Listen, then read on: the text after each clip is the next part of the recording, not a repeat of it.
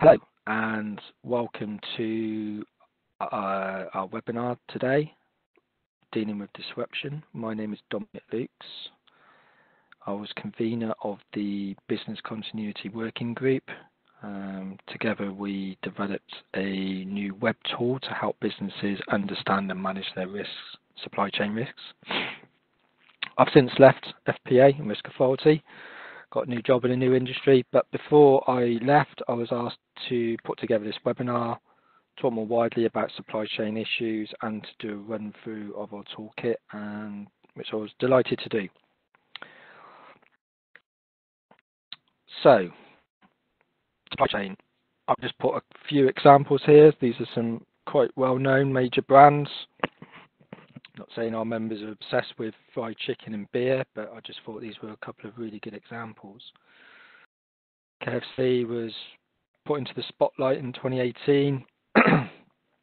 um, the fast food giant had appointed DHL as its new logistics partner on the 14th of February, and it's and DHL operated from a single warehouse in Rugby, whereas the previous uh, logistics partner to the, uh, to KFC was Bidvest Logistics. I think they're called something else now.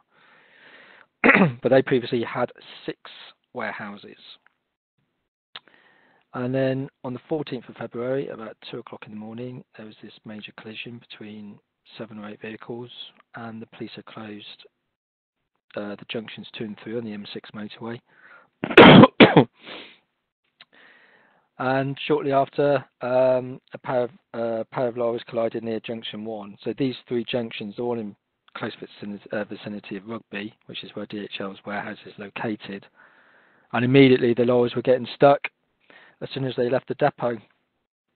And with no other locations to to send deliveries from, um, KFC were, were immediately, you know, against the wall and their decision to transport a perishable product from just one location, one single depot, was immediately brought under under question.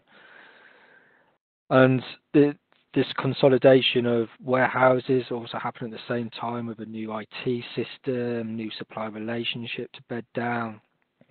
So immediately, KFC were, you know, were being brought into question about the the level of planning that had gone in, uh, that had been undertaken, and what sort of contingency measures were in place. Pretty soon after, within a couple of days, in fact, KFC started to shut down locations in response to not having any chicken. And by the 18th of February, only 266 of the 870 restaurants were, were actually open, and many of those were operating from a from a limited uh, menu. The net effects, KFC saw immediate 2% fall in sales, 5% fall in operating profit in that quarter. They also since have renewed um, the agreement with Bidvest Logistics. They originally awarded them the Northern contract, and I read in the paper about a month ago they've actually gone back to Bidvest Logistics. They're called something else now, but essentially they've they've cut ties with DHL and they're back to where they were previously. Heineken, Heineken, the you know the beer uh, manufacturer, back in the summer. Um, if you think about you know the the heat wave, the the, the England football teams run to to the World Cup semi-finals. Uh, the, the demand for beer was pretty high at the time. Well, as it happened, there was a chronic shortage of carbon dioxide. This affected many industries, veterinary, dentistry, but it also affected the beer industry because it's used to provide the fizz, um, not just in beer but in, in soft drinks. So Heineken, the, the brewer, was left to write to all its all the large pubs and asked them not to place um, any orders with them which is a strange thing to have to do. But essentially, they were they were running low on their emergency reserves of, of carbon dioxide. So again, there was question marks over over stockpiling, contingency, having alternative sources of supply, or all, all the things that are that are part of having a resilient supply chain. Unipart and, and McColl's were again both similar um, logistic issues, and you can find those online. And then there's many, many other, many other case studies from smaller organisations. I was watching the news um, a couple of months ago, local news. There's this company manufacturing machine tools based in Redditch called Heller, and their managing director was on on camera explaining about the Brexit and the long delays um, at Dover, and the fact that they were having to shut down large parts of their uh, of their factory because they just didn't have the tools and raw materials to, to, to carry on at full capacity. so supply chain is obviously becoming a big issue now. There's there's there's lots of examples of um, of companies suffering supply chain disruption and it's starting to um, demand a lot of boardroom attention. Um, but why is it on the increase? Um, well, I think it's important to understand exactly what is meant by the supply chain. And whilst there's many definitions, this is one that I've that I come across, and it's the system, process, and activities of sourcing raw materials or components an enterprise needs to create a product or service and to deliver that product or service to customers. so immediately it becomes clearer why supply chain risks are so prevalent and why businesses are uh, experiencing interruptions on a, on a frequent basis.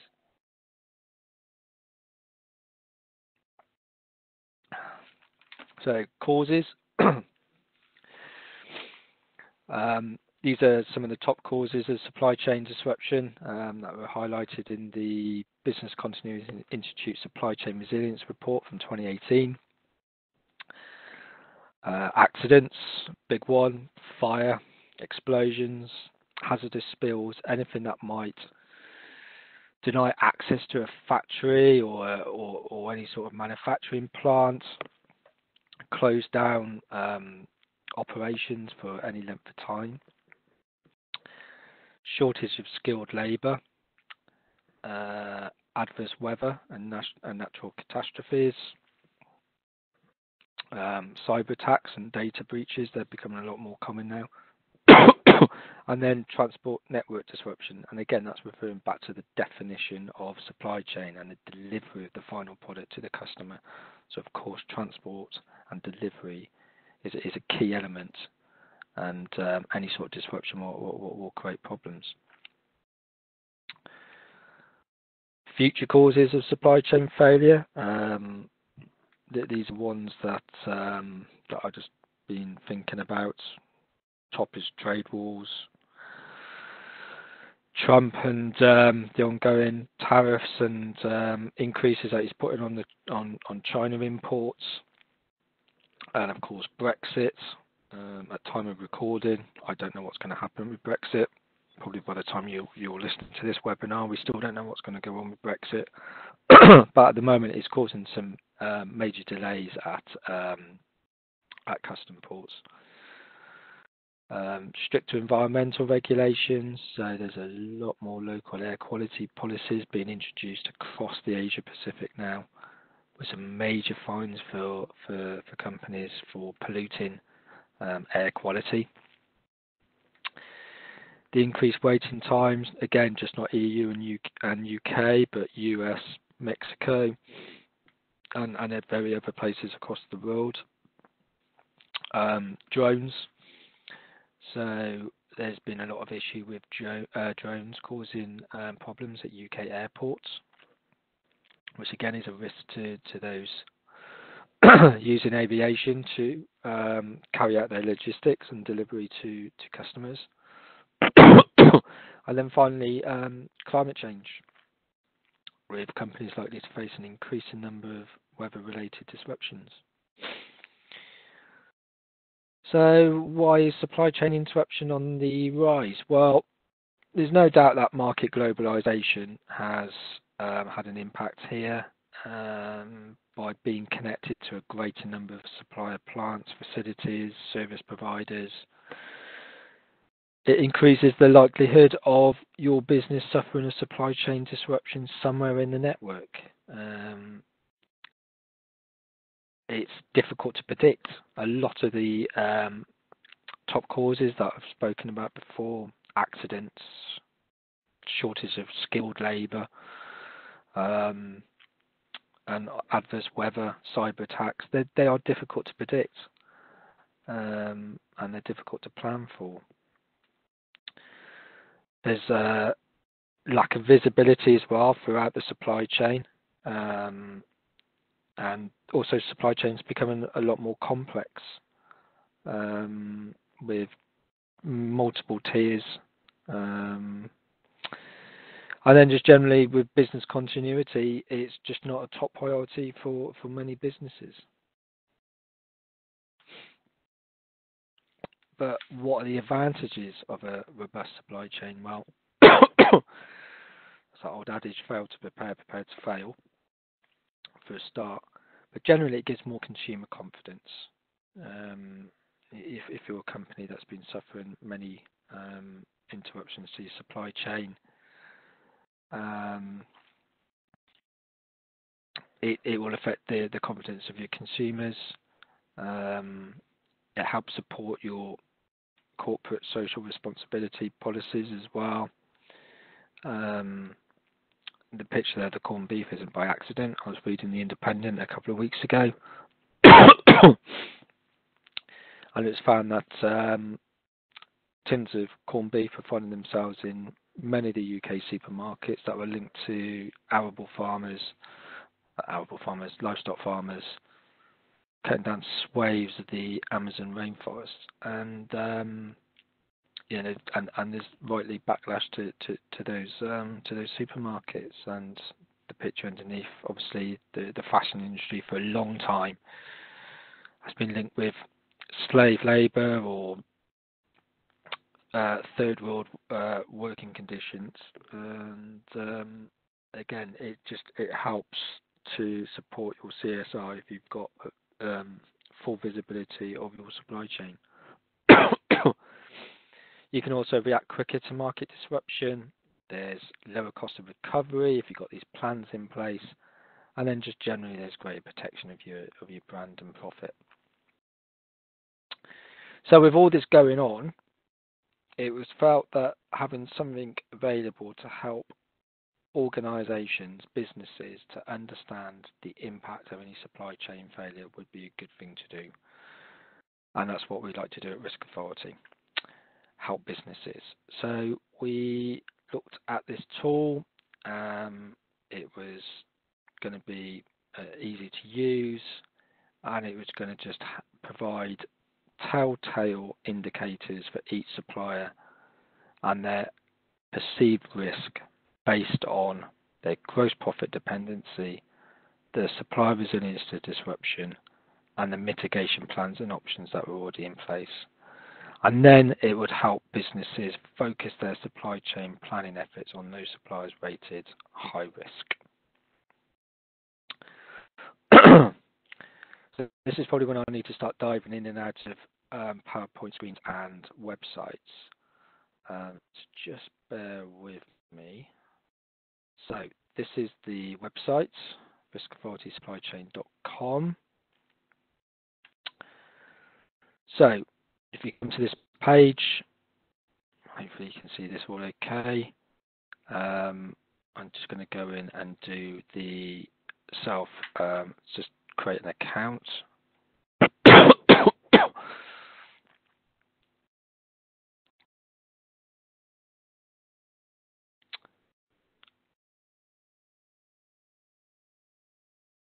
on, that's not right. Bear with me. Right, okay. So if you've not signed up for an account, this is what we ask you to do. The first thing to say is that the this is all self-service. So as a as a member, um, we don't ask you to get too involved in this setup.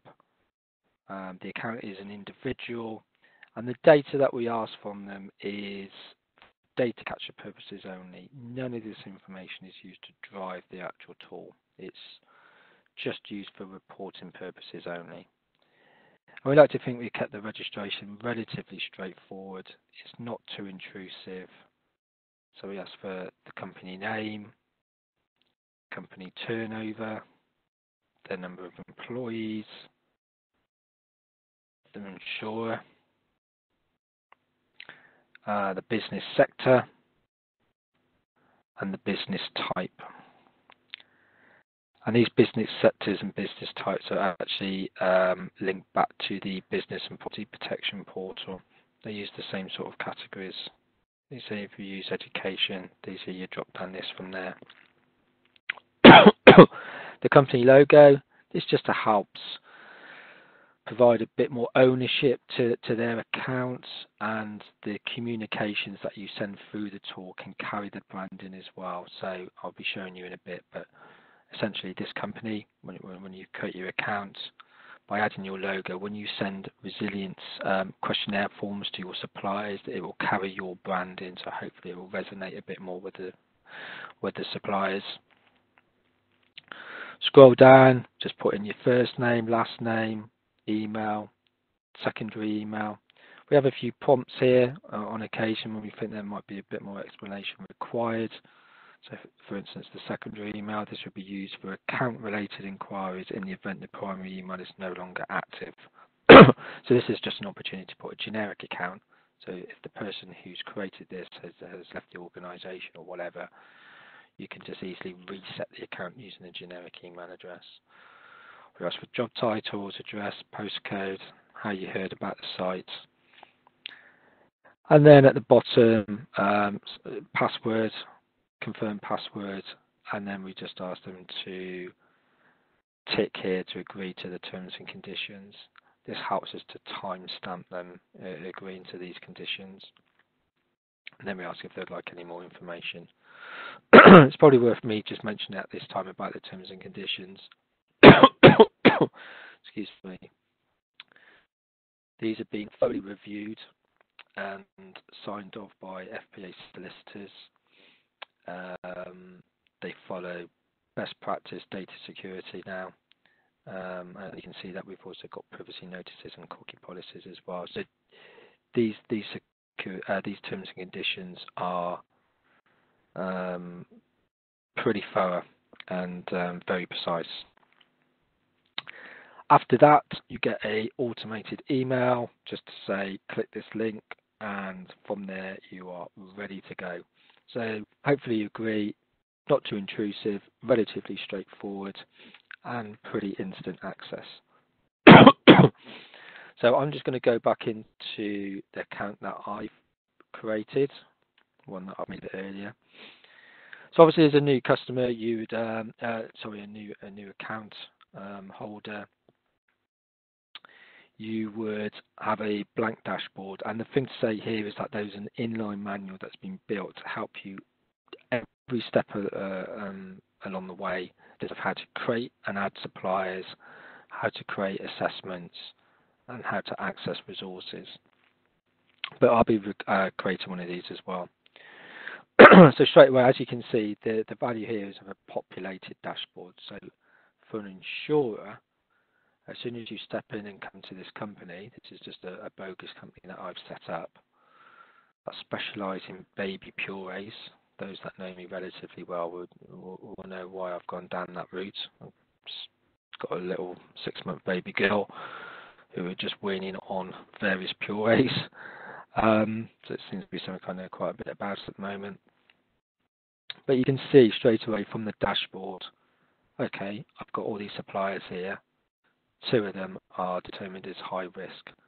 Why they're determined as high risk? Well, we can we can dive in and have a look at that in a moment. But straight away, it just gives you that oversight from an insurer that if you were going to a company, you can see where the big dangers are to them, and it would be up to you whether you you look at these medium and low risk companies. So moving away from the dashboard, if you go onto the, the supplier screen, Okay, that's not supposed to happen. Just bear with me.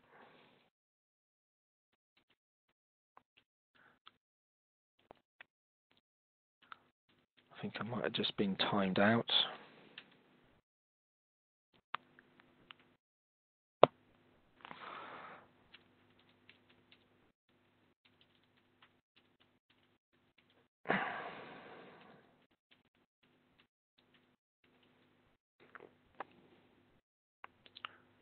Mm, okay. There we go. Right, fine. Sorry about that. Okay, so your suppliers. So straight away, you can see these are all my different suppliers. So like I said, I'm specializing in various um, baby purees. And you can see that here, for instance, I've got Badsy potatoes, I can see that the last review was done today. This is the contact name, contact email. I can see that we've done three assessments for him and one of them's come back as medium risk and two has come back as high risk. and that's why that supply has been determined as a high risk. All the others, I believe, well, one assessment, one completed. Um, there's one TBC here. So, but again, straight away you can see here's all my suppliers, and these are the results of the assessments that have been done linked to that supplier. so, if I wanted to create a new supplier, nice and simple, come in here, click on create new supplier, uh, name the supplier. Let's go with Dom's Peas. Just put in some garbage on this. Um, we'll just put in a bogus email address here. Address.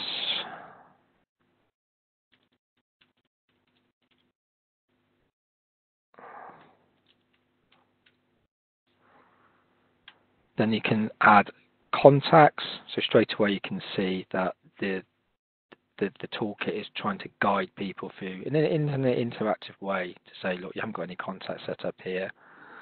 Add a new contact. So this could be me.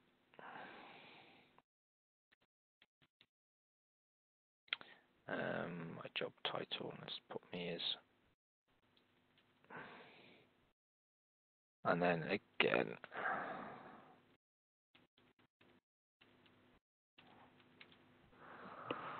and then if you click save you can see down here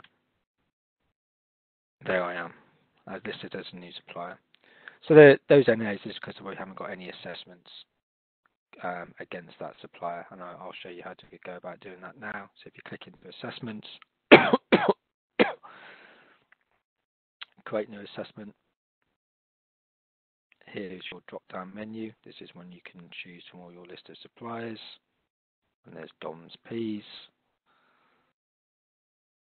Enter the name of the item service supplied by your supplier that has been assessed. So here we could put peas.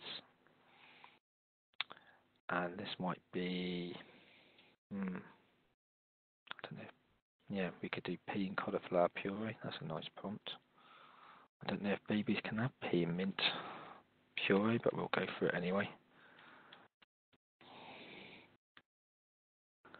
And then you put in your impact on gross profit. Again, you get another little uh, prompt uh, tool tool tip to help people, um, to help users understand what's required here. Peas are my best sellers. I'm going to say we have about a gross profit of about 12%. So that would be if Dom's Peas was no, uh, no longer able to supply me peas, what would be the impact on the gross profit for me as a business? And then you click create down here at the bottom. And here's your assessment. So you can see it's got me down as the supplier, contact name, there's the email address. These are the list of products and services that are affected. That's the impact on gross profit. If for any reason you've got that gross profit wrong, or you want to add a new product or service that might have been affected, so say I start releasing a pea and I don't know pea and pea and potato puree, and I need to increase that from 12 to 15 percent. you can save those changes.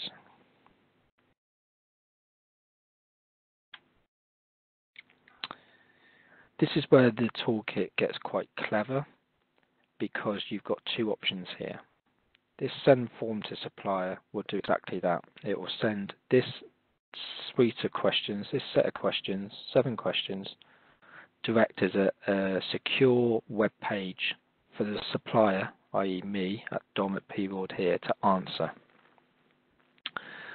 So I would get an email come through saying this company name, Dom's Pureways Limited, whatever. Um, have you done as a supplier to their business? Can you answer these questions? And depending, um, so that's sent as a web link. They they go in, they have no access to any other part of the tool, just those list of seven questions. There's a time um, and date and name stamp on those. and I've got some screenshots to show you how that looks later on in my presentation. And then you get an automated email to come back to say that person has completed the form and it pre-populates those questions and then gives it a rating. Because that's quite complicated and because obviously this dom at pward.co.uk email address doesn't exist, I'm just going to do the form myself just to give you an understanding of the questions and answers. So can they supply your business from multiple locations? And here's the, the list of answers, and these are weighted accordingly. If you click yes, they can supply from multiple number of different locations, and obviously that will score less highly, uh, more highly than if no, then you operate from a single site and production line. I'm going to say no, but we have multiple production lines within our single site location. Do we have any reciprocal agreements in place? So again, you'll be scored according to what you what you answer here. I'm going to say no. Is the supplier reliant on other suppliers? I'm going to say no. have we got a documented and tested business continuity plan? Yes. Has there been any interruption in supply in the last 12 months? Again, you drop down here, depending on what you answer. I'm going to say there's been one incident. Can the supplier replenish your business within the required timescales? You've got an option of no. Yes, this is reviewed and included within our contractual service level agreement. Yes, this has been tested and verified within the last 12 months. So I'm going to say it's in our um, SLA. And then finally, does this supplier consider you one of their top five customers? I'm going to say no. And then if you click Save Changes,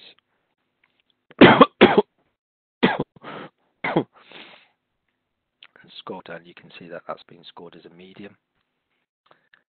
Then the final part of the assessment is the mitigation assessment. So this is what me as the company owner can do to minimize any risk of a disruptive um, a, a, a disruption in the supply. So again, if you click on the edit form, it starts to ask you about what period of stock do you hold. Because this is a food item, I'm just going to say we've got about a week. If supply is interrupted, how quickly can you make up for lost output? So we can make it up in about a week. Do you have multiple sources of suppliers? I'm going to say yes. Have you identified other alternative suppliers? I'm going to say yes. Are alternative options available to supply your customer? I'm going to say no. And then click save. And you can see that the result there is a medium risk. And then if you go back to your dashboard,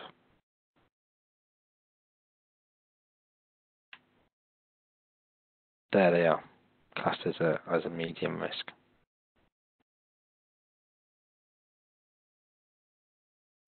It's as simple as that, to be honest.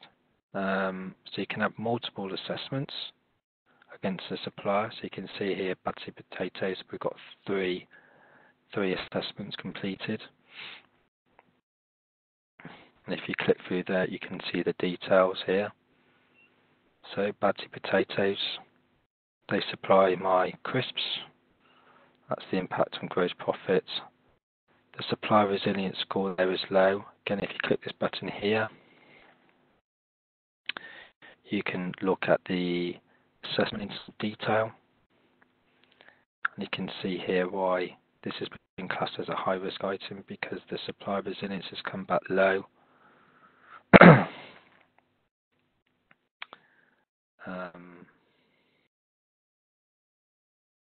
let's go back to all assessments.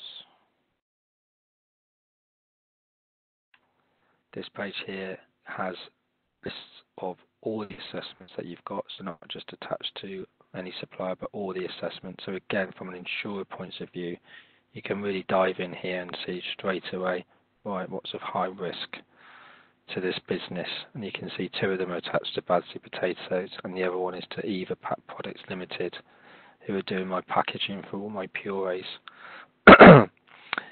Ones that of um, TBC, these are just because elements of the assessment is still outstanding. Either the supply resilience form hasn't been completed or the mitigation assessment form hasn't been completed.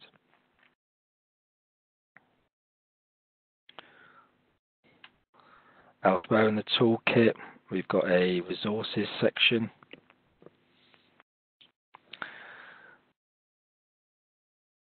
Alongside the tool, we produced this simple guide to supply chain management. Let me just quickly open that up.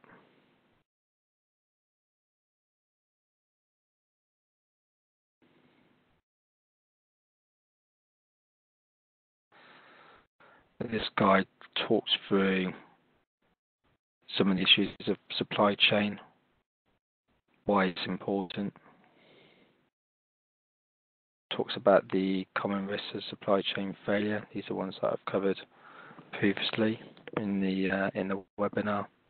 And then it looks at what they can do to help manage the risk. And here it's about prioritizing your suppliers, which is what this toolkit is trying to do. It's um, you know it's helping businesses understand the criticality of their suppliers just by answering a, a relatively simple set of multiple choice questions. And once these questions are scored, it just helps you understand straight away which suppliers would have the greatest impact on your ability to to continue supply to your customers. and then it comes across with some other solutions that, that might just help minimize the risk, such as spreading your supplies geographically. Um, you know, if you've got a high concentration of suppliers based in, one area of the world, which might be prone to earthquakes or, hurricanes or, whatever, um, that's when it might be worth looking at, uh, having um, suppliers spread more more widely. And we then talk about managing your supplier relationships, trying to get on top of the pecking order if there's any there's any issues, or trying to understand about the supplier a bit more and having that dialogue undertaking a bit of research, understanding whether they've got any continuity plans in place, and then about researching um, alternative suppliers, uh, keeping inventory stock, and then service level agreements, and then finally um, having those discussions with, with, with the insurer as well. So it's a nice little simple guide for, for businesses as well.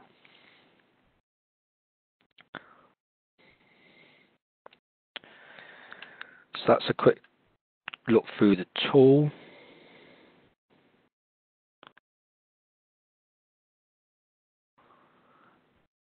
Just wider on this. Um, so again, I just wanted to show you how the how the toolkit looked if if you're a, a new account holder. So you can see that it talks you through the process of adding new suppliers to the account with, the, with this inline manual the supplier setup, which I've already shown you, so you can have multiple contacts attached to a to a supplier. And then, of course, you can have multiple products and services affected as well. As you saw with my with my pea example, you know, you, you, you can attach multiple products, which will have an effect on, on of course, the gross profit. and then we've gone through the assessment screen as well, so it's split out into three. This first bit talks about the impact, the products affected, the supplier, the contact, and then you have these two um, two questionnaire forms, simple drop-down questionnaires that look at the supplier resilience and then the mitigation assessment. I've also shown you how you can click edit to switch in and, and make changes to any of these questions and answers. this just talks a little bit more about the algorithms in the in the back of the um, back of the toolkit. Um, so straight away you can see that it really focuses hard on the gross profit dependency and the um, the significance of of the gross profit. So if it's under 10%, it's determined low. Um, between 10 and 24%, it's medium, and then 25% on over, it, it's classed as high dependency. And these are these all the questions, and again, these are all weighted depending on the uh, on the on the results. This is how the form looks. So that supplier form that I showed you earlier, this is what it's seen from a supplier point of view. So they get this email that comes through with a little bit of intro text, and then with just a web link to the page, and then it just opens up these questions. and you'll also see that the wording in the questions have been changed as well. So for instance, is this business one of your top five customers? If you go back into the screen, it wasn't worded like that. So it's all been properly thought through. And again, this is the bit about the mitigation, about the buffer stock, if supply is interrupted, do you have multiple suppliers? And again, the answer is scored and weighted, and you get good, fair, or poor.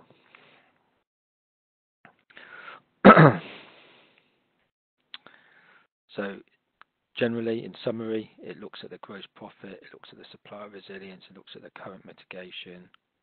The tool uses algorithm um, to determine the scores and then it helps to signpost businesses and insurers to understand which suppliers will cause most impact on the business if they fail to fail to deliver. And then this is just an, another random um, dashboard when we're in the testing stage. And again, it can just show we've got this um, rag ruler here, which shows how many assessments are. So you've just seen for my Baddesley potatoes, I've got three outstanding at the moment and then it ranks it by high, medium or low risk.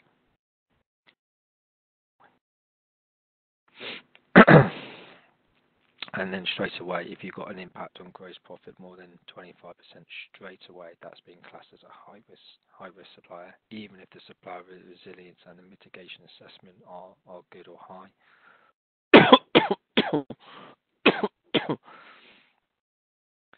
and then you have your page for all your suppliers and the assessment statuses as well. So straight away you can see if any of the um, assessments are TBC or still outstanding. And then we've talked through some of the um, some of the guidance notes that we have, including the new supply chain management. Just to finish, we do offer um, RISCAuthority members branded versions of the tool. We've had some interest in this already from MS Amlin, RSA, NIG. All you need is your logo, your colour palette. We can change lots of the elements. This wallpaper design on the background can change. We can even change um, the footer pages, such as privacy notice, terms and conditions, cookie policy, if you felt the the the versions that on the risk of authority site weren't strong enough or weren't stringent enough. But like I said earlier on in my in my presentation, these have been written and reviewed by FPA solicitors, and, and we're pretty confident that they're, they're, they're of sound quality. just a little bit more just on the software and hosting. So this is all cloud-based, so there's no software update or patches to users. So it's consistent supply. It uses the latest data encryption software. It all sits on Microsoft Azure. Again, I've talked about the data security wording policies. We've got a full hosting and support contract in place with the developers, and it's been built with responsive design, so it's accessible on all modern devices and platforms. and we've done a bit of press on this as well, so to industry, Jim kindly put a piece on LinkedIn. It's all on the FPA RISCAuthority websites. I've written a really nice article, even if I say so myself, in the May issue of FRM, which you should definitely get a copy of and a read of, we've created various adverts and, and banners. I've going to leave instruction to Miffy to hopefully enter this into some sort of supply chain awards. The webinar's been done. I'm not speaking at Firex on supply chain disruptions, but um, you know, hope, hopefully someone will later on. And that's the end of the webinar. Um, thank you for joining and enjoy the rest of your day. Thank you.